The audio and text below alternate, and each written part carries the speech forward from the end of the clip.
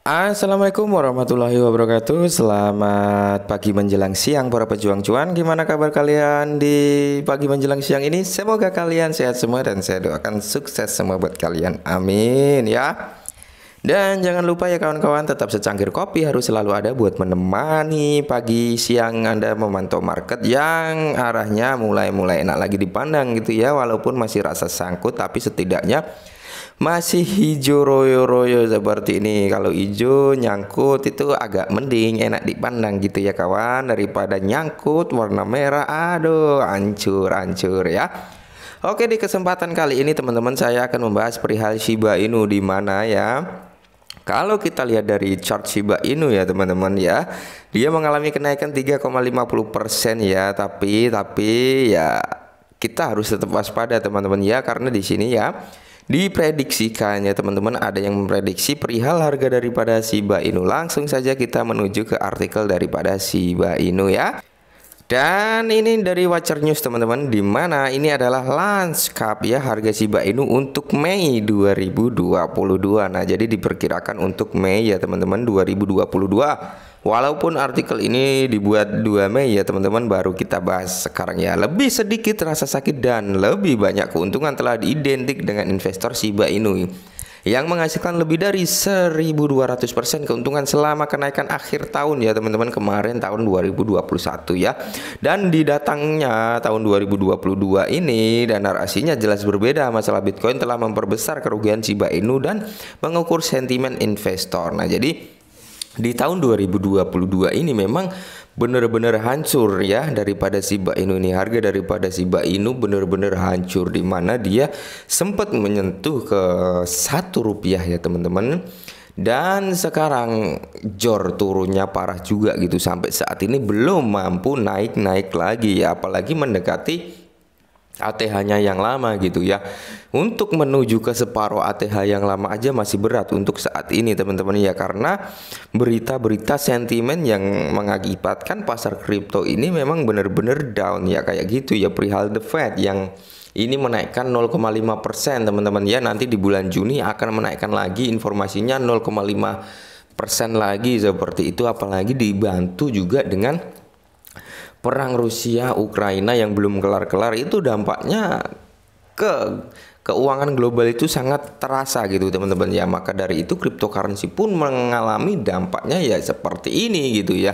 Tapi gimana lagi ya memang ini keadaan apa ya realitanya seperti ini gitu teman-teman. Ya jadi kita harus benar-benar ekstra bersabar gitu. Masalah Bitcoin telah mempengaruhi Shiba Inu dan mengukur sentimen investor ya.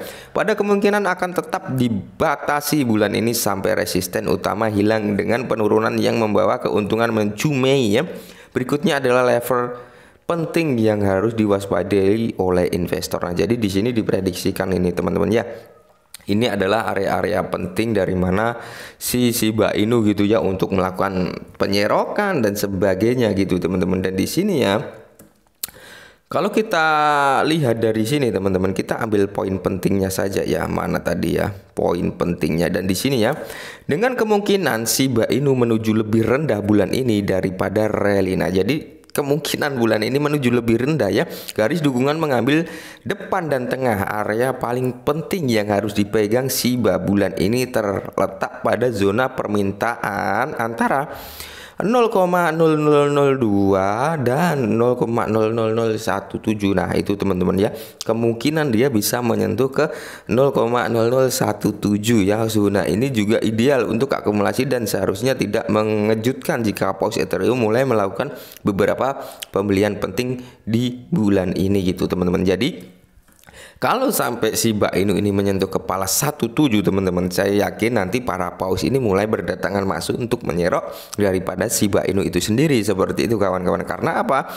Karena menurut para cukong, para bandar paus ini token masih enak sekali gitu buat apa ya dimainin gitu teman-teman. Maksudnya dimainin dia masuk naik sedikit cuan masuk naik sedikit cuan masuk naik sedikit cuan seperti itu teman-teman. Karena si Bainu ini memang gimana ya walaupun gimana pasokannya juga banyak gitu ya. Pasokan daripada Shiba Inu banyak apalagi harganya masih di bawah satu rupiah seperti itu teman-teman. Jadi masih makanan empuk para paus ya teman-teman seperti itu ya.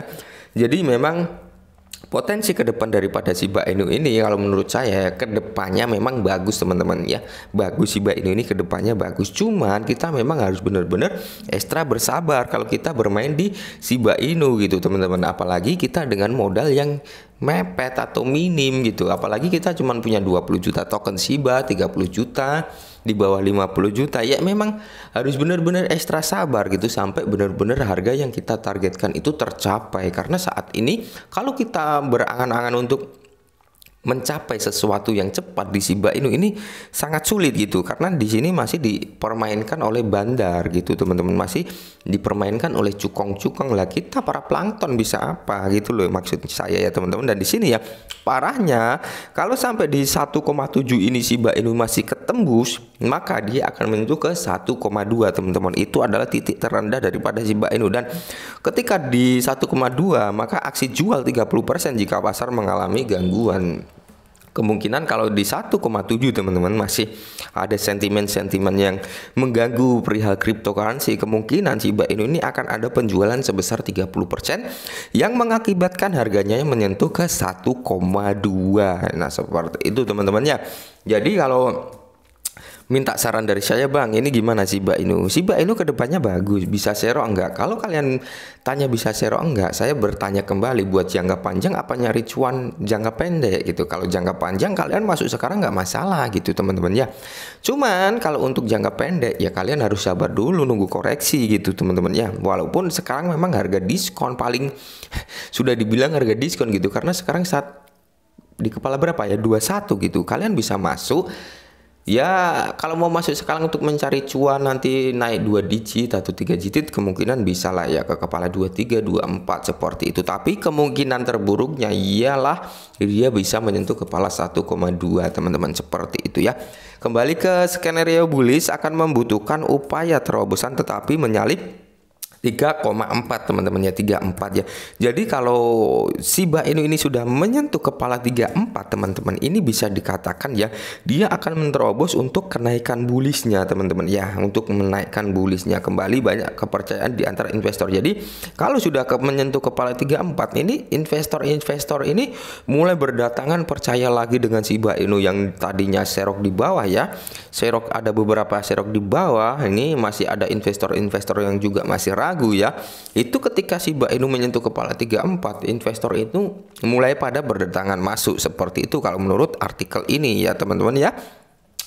Dan di sini pasar akan lebih menyambut pesanan beli dengan harga melewati MA 200 hijau titik kendali rentang terlihat di 25 dan tanda resisten utama adalah 35 teman-teman. Nah, itu ya jika benar-benar mampu menyentuh ke resistennya yaitu 3560 seperti itu. Kemungkinan kalau menyentuh 3560 maka harga daripada si Inu ini dipastikan dia akan naik teman-teman akan naik mungkin ke kepala 4 atau ke kepala 5 seperti itu teman-teman yang mantap ya.